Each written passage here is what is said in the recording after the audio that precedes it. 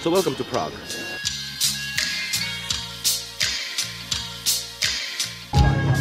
This is utterly amazing. There's a DJ playing here. We have uh, booked ourselves a boat cruise along the river.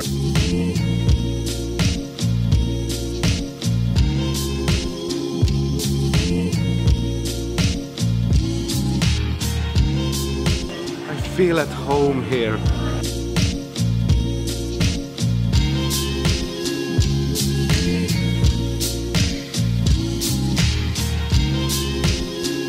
We are in Vinohrady, which is a very lovely part of Prague. It's um, called Vinohrady because uh, it translates as uh, wine Vineyards? Oh, vineyards, vineyards, yeah, yeah. wine gardens. And uh, back in 14th century, this area was covered with uh, uh, vineyards. Yes, with Marco.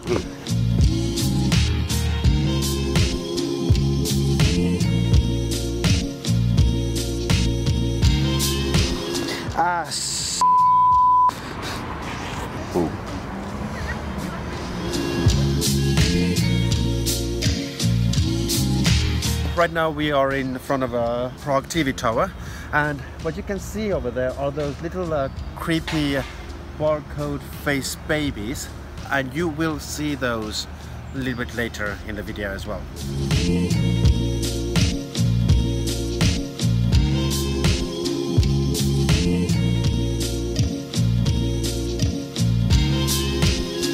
We have boldly made our way up to the TV tower, having a pretty good views over Prague. It's not overcrowded and it's about five pounds. Pretty good deal.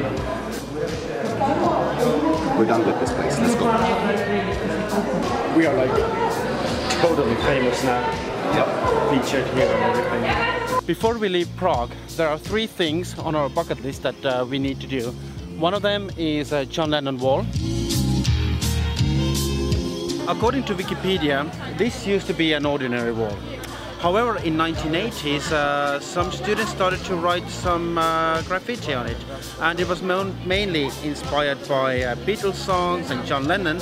And now this wall is called John Lennon Wall. What happened in 1988, though, was that uh, young people and students got very frustrated with the communist regime and started to write some uh, political messages on it. And uh, this wall was cleaned up several times and repainted. And uh, a couple of days later, more graffiti appeared. So they never got rid of it. And nowadays, as you can see, there are many people admiring this wall uh, because it is a symbol of uh, free speech as such.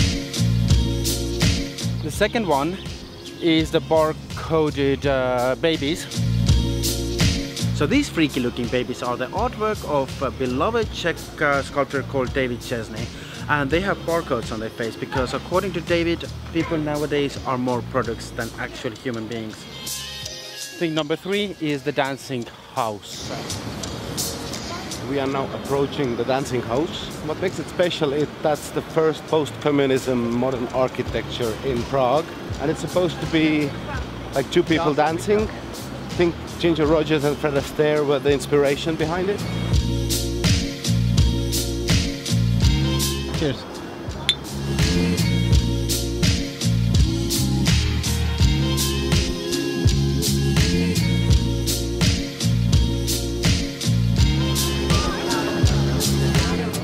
Beer. Uh, we're finishing off our tour of Prague here on the riverside. We've ticked off everything we wanted to see. There's still loads more to see, but this needs to be for the next time. So thank you for watching. We'll be back in two weeks' time. But until then, take care of yourself and each other. Take care of our beards. And Olga Muharrem.